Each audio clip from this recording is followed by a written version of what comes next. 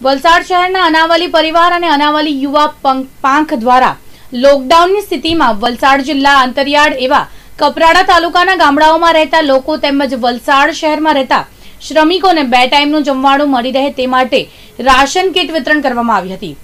અનાવેલી પરિવાર દ્વારા શરૂ કરવામાં આવેલા સેવા યજ્ઞમાં અનાજ કરિયાણાની સહિતની ચીજ વસ્તુઓ પંદરસોથી વધુ કીટ બનાવી કપરાડાના આંતરિયાળ ગામો તેમજ વલસાડના શ્રમિકોને વિતરણ કરવામાં આવી હતી.